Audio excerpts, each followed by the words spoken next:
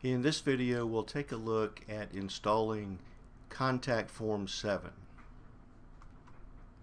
Once logged into your WordPress administrative area you'll want to click installed plugins and this will show you a listing of all the plugins you have just to make sure uh, it's not already installed and perhaps just not activated. Once you scroll through the list and you're looking for contact form 7 and it's not there then you would click at the top for plugins add new. Alright then I'll come over to the right side where it says search plugins. And I'm going to type in contact form 7 and I've done that before on this computer. And I'll press enter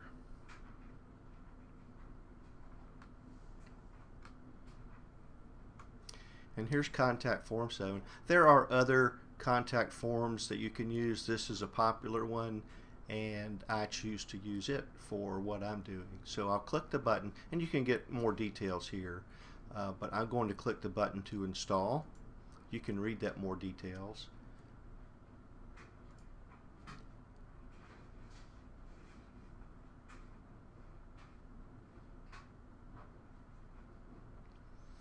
Okay, then just like any other plugin that you'll install, it, it gives you the status down here and it has successfully installed Contact Form 7 and then I'll click Activate Plugin.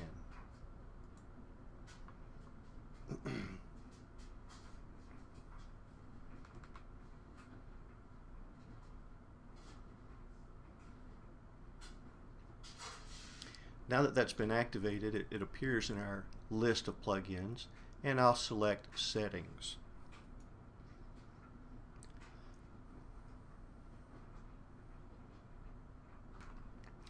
You'll see in the center of your screen contact form 1 uh, number 1 is listed.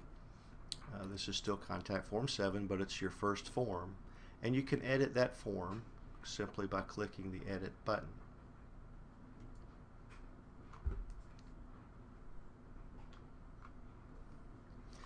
And if we look down here in the form, these are the fields that will be um, presented to the visitor for them to uh, fill out.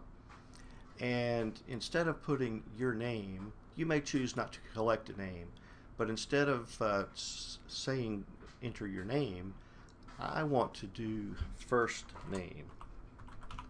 And that way when I'm selecting how to personalize my autoresponder messages, I can put the tag in there so it will say, hello Sam or hello Betty. Uh, if I don't specify first name here, someone may enter their first and last name, and then it would say, hello Betty Jones. And that just doesn't sound normal. It sounds machine generated. And a lot of people don't know that it's a automatic or a, or a generated message. They really think you're writing to them individually. And that's what we want to do. And then I'll also drop right below it in this uh, bracket area and I'll type in first hyphen so that it reads your first name. Uh, this is what will be displayed and I just wanted this to match. And then you can choose to have subject field, which I did, and then the, the body of the message, and then the send button says send. If I type submit or anything else in here, that's what would show, but send is fine for me. So before I do anything else, I will come over here and click the save button.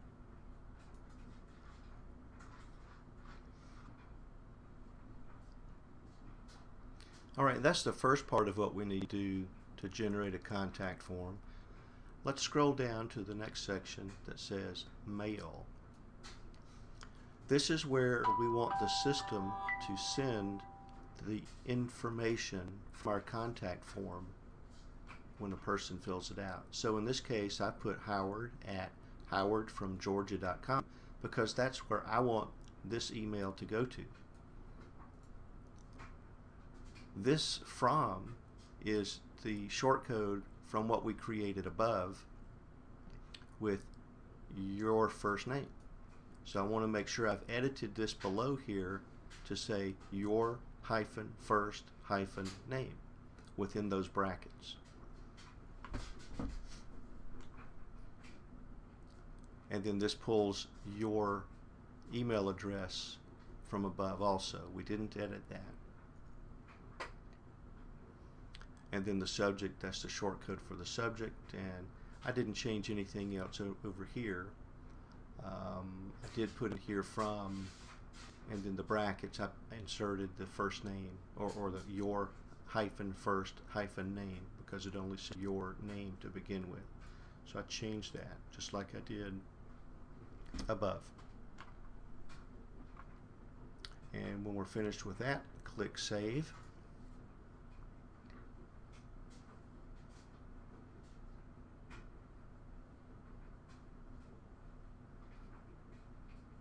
And scrolling down again below Mail, there are other, there are messages here.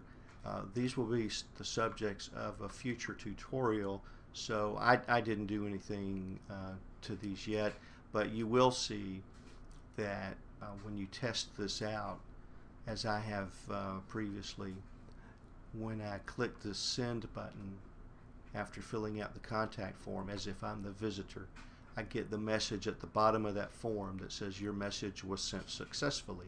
Thanks. So if, if, if I wanted to change that, I could say your message was sent I will return, uh, I will reply usually within 24 to 48 hours or whatever I wanted to say. I can edit this. And once I do, always remember to scroll up and click save. So just to make sure, I'm going to click save there.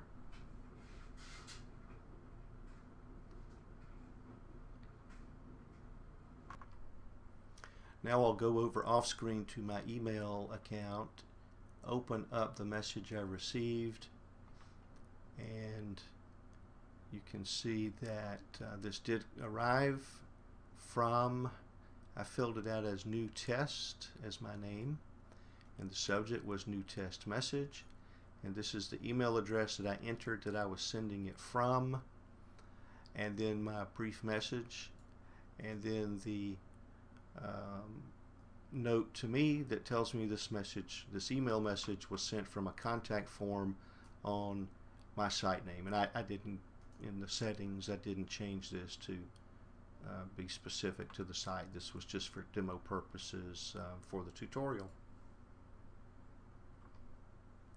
Now that I have that form generated, edited, set up, and tested, I will now make sure that at the top of my site, top of my page here, there's an option for someone to click contact me. So I'll go and create a new page. First, before I do, let me grab that shortcode and I'll copy that to my clipboard. Then I'll go to create a new page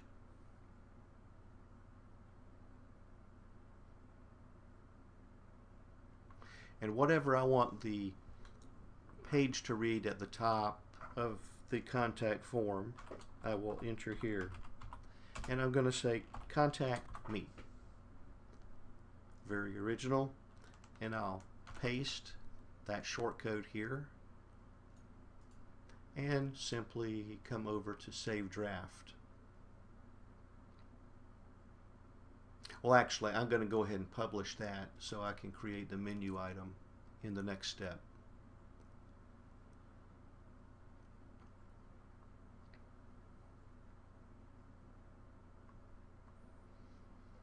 I could have previewed it before I published it, but just to save a little bit of time here. And now to create the menu item so that, that there will be a tab at the top, I will come to appearance and menus and click menus.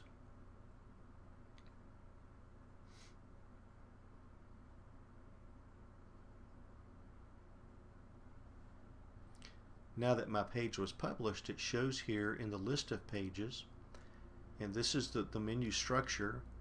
You can see home, monthly newsletter, recipe analyzer. All those appear across horizontally here. That's where I want my contact form to be.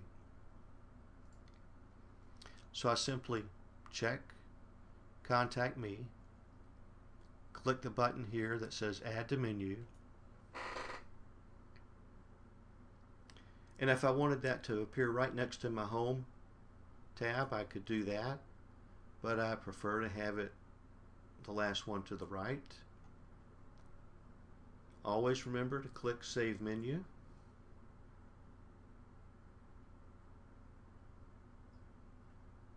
And then I'll go back to my site and I'll refresh.